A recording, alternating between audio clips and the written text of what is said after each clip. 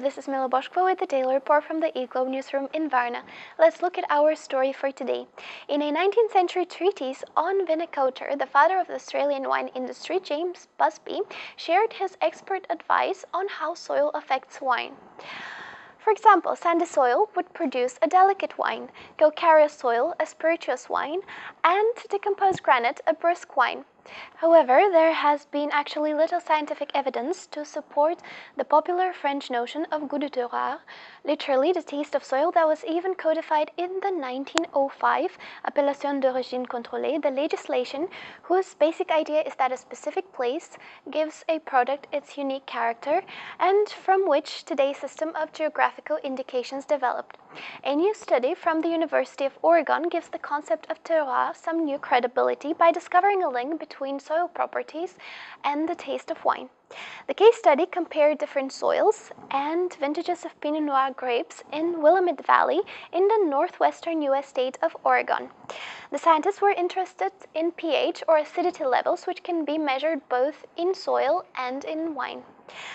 Soil pH is an indicator of fertility as low pH soils tend to have fewer minerals. On the other hand, Wine pH contributes to wine taste, with higher pH rendering a more well-rounded and complex flavor, and lower pH making wine as sour as vinegar. The usual pH of wine is somewhere between 3.4 to 3.8.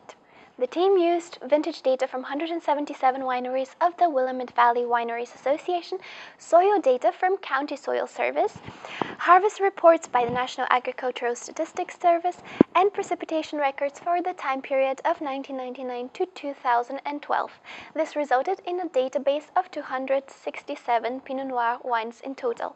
Results from the analysis showed that the most terroir-influenced Oregon wines boasting a rounded and buttery taste were those with minimal pH levels of the deep levels of soil. These are the leaner, infertile Pleistocene terraces of sedimentary rock and basalt that put a strain on the vines, pushing them to grow more fruits than leaves and to infuse their grapes with more flavor, aroma, and color compounds to attract more animals.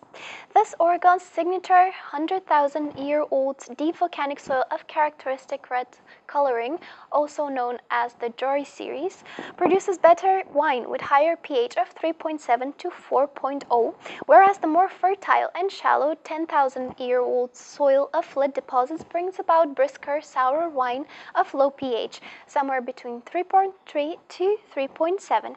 Additionally, turned out that wines from years with low precipitation prior to harvest uh, were connoisseurs' favorites.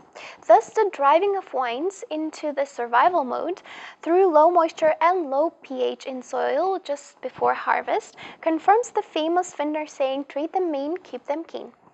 While there is much more that contributes to the final taste of wine, such as some 800 distinct organic compounds for Pinot Noir only, and uh, winemaking techniques such as blending in poor harvest years, uh, somewhat obscure the effects of soil, scientific evidence is finally here uh, to support the notion of terroir.